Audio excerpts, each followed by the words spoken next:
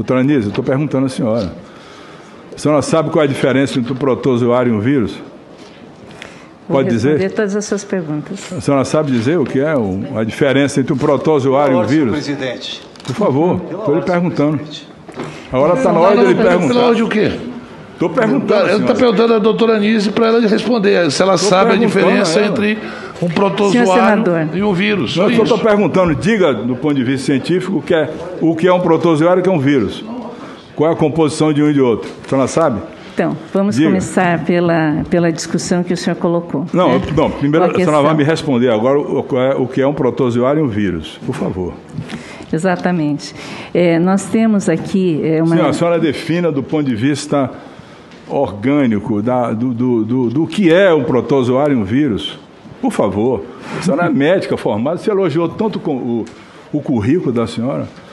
Me diga, por favor, o que é um protozoário e o que é um vírus, diferença entre um e outro. Só Os isso. protozoários são organismos celulares e os vírus são organismos que têm um conteúdo de DNA ou RNA.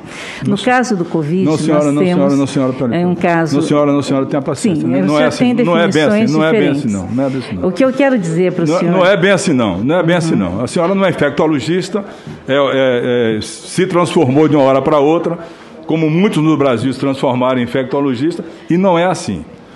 Os protozoários são organismos mono ou unicelulares.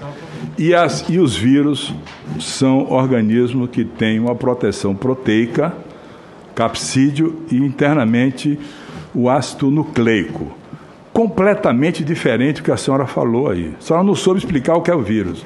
Vírus não são nem considerados seres vivos. Portanto, uma medicação para protozoário não- nunca cabe, sempre nunca cabe para vírus.